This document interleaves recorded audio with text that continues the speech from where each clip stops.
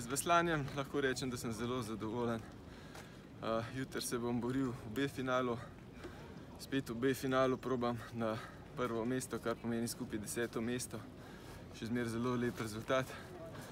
Uh, nekako sem upal tudi A-finale, ampak danes ni znesel. Uh, um, vsakič pride kakšen nov mlad fant, ki se vmes urine med mano in A-finale, ampak uh, sem zadovoljen.